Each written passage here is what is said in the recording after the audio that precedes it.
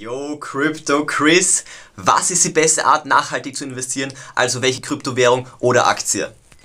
Also ich nehme es mal an, nachhaltig soll heißen niedriges Risiko und wenn das so ist, dann auf alle Fälle Bitcoin und auf einen langen, langen Zeitraum. Weil da kann wenig schief gehen. Da sind die Gains so gut wie garantiert, auch wenn es keine Verhundertfachung ist oder so, aber auf gute 5 bis 10 Jahre, da kann schon eine Verzehnfachung drin sein. Also Nachhaltigkeit auf jeden Fall. Bitcoin.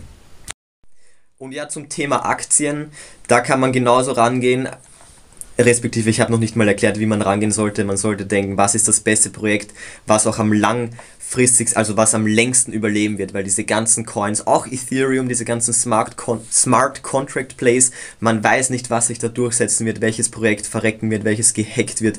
Also man muss immer so, so lang wie es geht in die Zukunft denken. Bitcoin entwickelt sich nur sehr langsam, das ist aber was Gutes in, der, in dem Fall.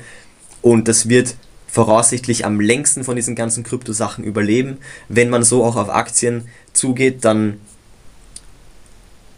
dann ist das eine hilfreiche Einstellung, sage ich mal. Was ist da zukunftsorientiert, langfristig?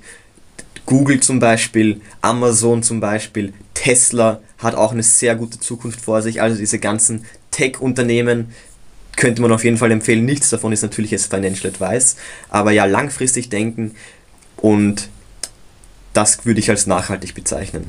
Und ja, schau mal nach, ob das Plus eh weg ist, weil dann bleibt auch dein Krypto-Stash oder Aktien-Stash immer fresh.